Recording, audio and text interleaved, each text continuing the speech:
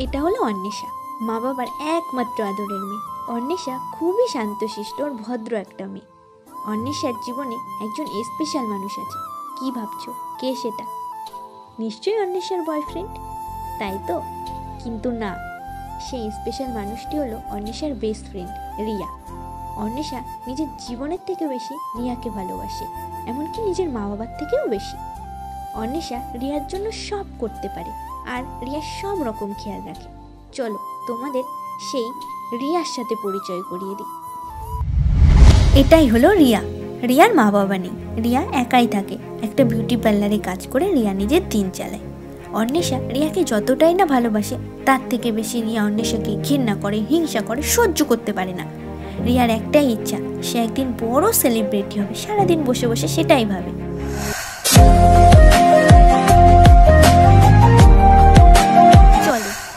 সাথে এই দুষ্টু মিষ্টি দুই বান্ধবীর জীবনের গল্পটা শেয়ার করি। একদিন সন্ধ্যাবেলা অন্বেষা বই পড়ছিল, ঠিক তখনই অন্বেষা, এই অন্বেষা। হ্যাঁ? এই দেখ মা, তোর জন্য কিটক্যাট এনেছি।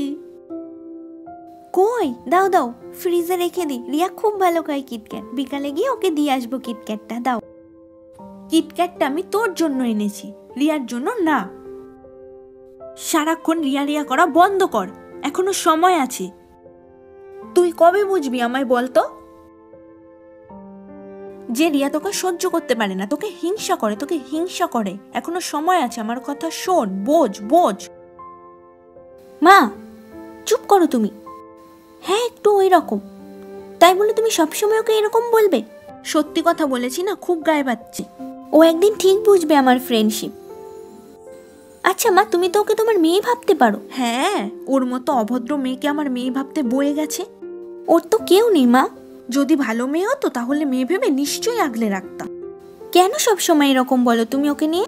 আচ্ছা ঠিক আছে যাও তুমি এখন। হ্যাঁ এখন তো আমাকে তাড়াবি রিয়ার নামে বলে ফেলেছি না? খুব গায়ে বেঁধে গেছে।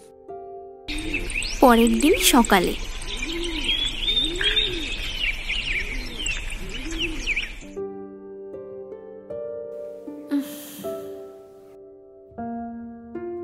বাবা গো, নটা বেজে গেছে। রিয়া তো মনে হয় এখনও ঘুমাচ্ছে। তাড়াতাড়ি ওকে একটা ফোন করে তুলে দিই। কলেজ যাবে আবার মেয়েটা। আমার ফোনটা কোথায়? দূর, ফোনটাই তো ধরছে না। কি হলো রিয়ার? সেটা দেখতে পাবে নেক্সট এপিসোডে নেক্সট এপিসোডটা দেখার জন্য এক্ষুনি চ্যানেলটা সাবস্ক্রাইব করো আর পাশে থাকো।